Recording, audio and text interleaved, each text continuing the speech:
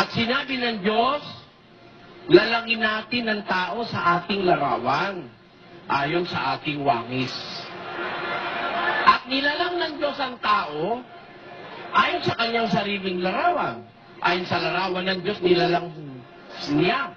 Nilalang niya sila na lalaki at babae.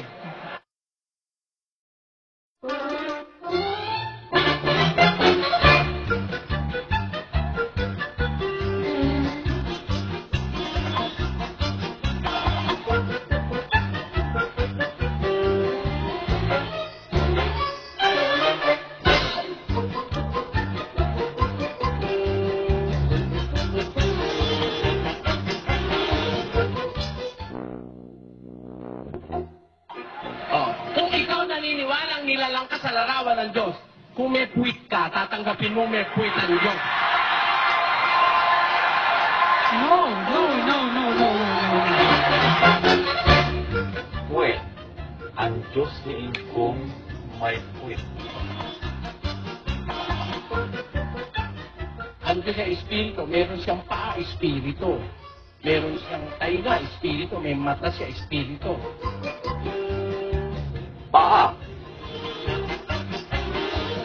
May ilong siya, nakakaamoy siya. eh. Meron siyang bibig, may puso siya, may paa siya. Kaya wala akong mabasang may tuhod siya. Ayun, yung nagsasabi sa'yo, itanong mo sa akin yan, tanong mo sa kanya, may mababasa ka ba may tuhod ng Diyos? Pag may nabasa siya, kapagilit ako ng lalamunan. Walang tuhod.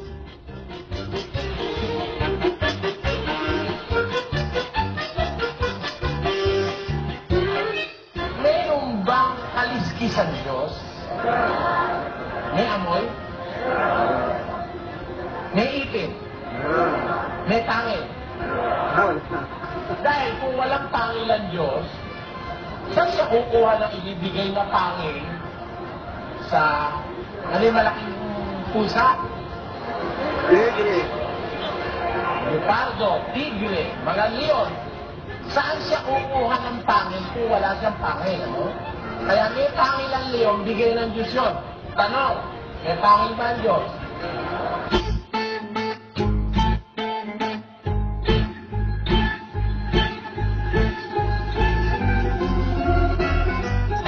Pwede, ibig kong sabihin, may matris pala ang Diyos nang nanganak sa Kristo. May sinapupunan siya eh. Nasa Biblia yun, may sinapupunan ng Diyos.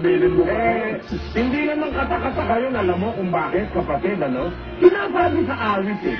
Siyang nagbigay ng mata, hindi ba siya makakakita? Siyang lumikha ng pakinig, hindi ba siya makakarinig? Eh, sino ba gumawa ng bahay bata? Ang Diyos. Siya pa mawala nun.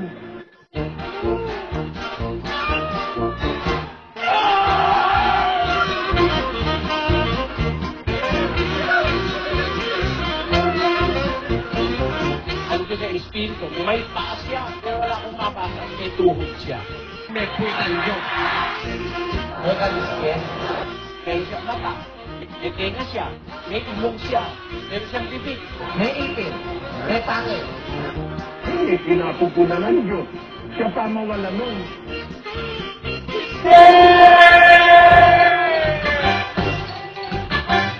Pero tatanungin ka, eh ilan ba ika ang Diyos? Ha. Merakmi, merakmi, merakmi, merakmi, merakmi, merakmi, merakmi, merakmi, merakmi, merakmi. Itu nilai baikkan lahasyon. Itu nilai lahasyon.